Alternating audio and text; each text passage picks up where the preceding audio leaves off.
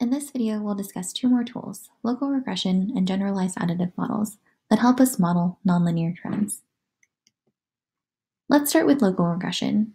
The idea behind local regression is to fit regression models in small, localized regions of the predictor, using only a nearby subset of the data to do so. This is illustrated in this figure from the ISLR book. In this panel, the local regression method is trying to make a prediction at about x equals 0.05. We see that the colored points are contributing to a local fit at this point. The gray points are left out. The colored points are used to find a line of best fit in this small region. Usually, this best fitting line is found with a weighted least squares approach, rather than the unweighted least squares approach used in ordinary linear regression.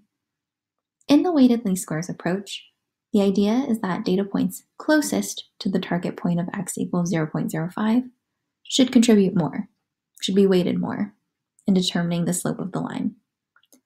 Points that are further away should be weighted less. The shaded distribution illustrates the weighting scheme. The height of the distribution indicates how much weight a data point at that x-axis location is given in the weighted least squares estimation. Repeating this process for a grid of x-axis points gives the estimated function in orange. The estimate is fairly close to the true function in blue, which happens to be known in this case because the data were simulated. An example of the process for another target point is shown on the right. Here, the local weighted least squares approach gives a fit that slopes downward. Overall, this approach is pretty similar to k-nearest neighbors regression. This technique is called LOESS, which stands for Locally Estimated Scatterplot Smoothing. There are a number of choices that arise in local regression to tailor the smooth function that's estimated. The first choice is the type of model to use for the local trends. Using ordinary linear regression, in other words, a degree 1 polynomial, is quite common. Degree 2 and 3 polynomials are also considered, which correspond to local quadratic and local cubic regression. Another choice is the weighting scheme to use. The one pictured here is a normal distribution, which is the most common. But there are many other weighting schemes possible that give high weight to nearby and low weight to faraway points. These weighting schemes are also called kernels. The third choice, and by far the most important choice, is the size of the span that determines what points are nearby to the target point.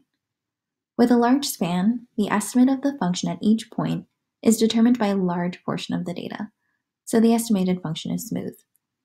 This is illustrated on the figure in the bottom right with the smooth blue line. The span of 0.7 means that 70% of the data are used for each local fit. In contrast, with a small span, only very close data points determine the estimate, so the estimated function is a bit noisier. This is illustrated with the orange line, where the span of 0.2 means that 20% of the data are used for each local fit. As you can imagine, there's a bias variance trade-off with the span size. A large span results in an estimate that has more bias but less variance because the estimate is smoother. A small span results in an estimate that has less bias because it's more complex, but this results in higher variance because the estimate jumps around much more.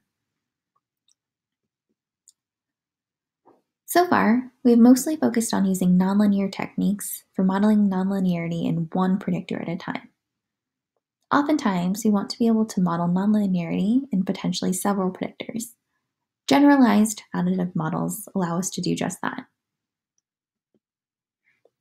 The framework for how a generalized additive model, or GAM, is written follows directly from how a multiple linear regression model is written. A multiple linear regression model is expressed as a sum of linear terms for each predictor. A GAM is expressed as a sum of arbitrary functions of each predictor. We can specify any function for each of these functions. For example, we could use the logarithm or square root function. We can even specify representations in terms of polynomial regression, natural cubic splines, or local regression. What output do we get when we fit a GAM? We get estimates of the intercept, f1, f2, all the way up, up through fp. Let's take a look at an example of what this looks like on a real data set. Say that we want to model hourly wages as a function of the year, an individual's age, and education level. A general GAM formulation is shown here. We say that wage is a function of an intercept term to set the baseline wage, as well as arbitrary functions of year, age, and education level. Statistical software that fits GAMS needs a little more guidance than this, though.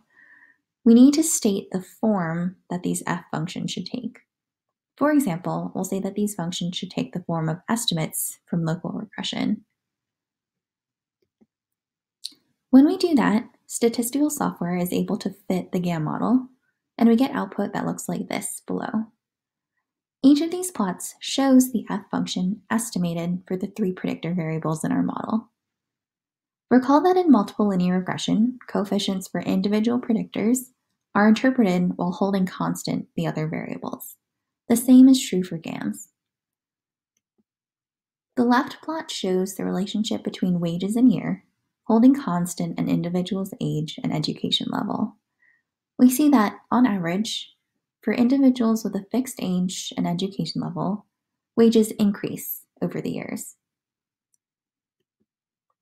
The middle plot shows the relationship between wages and age, holding constant calendar year, and an individual's education level. We see that on average, individuals in a fixed year and with a fixed education level see an initial increase in wages with age, followed by a decrease. The last plot shows the relationship between wages and education level, holding constant calendar year, and an individual's age. We see that on average, individuals in a fixed year and with a fixed age see an increase in wages with increasing education. So in summary, local regression is another tool for modeling nonlinear trends and is similar in idea to KNN regression. Local regression is often coupled with generalized additive models, a technique for estimating nonlinear relationships between a response and multiple predictors.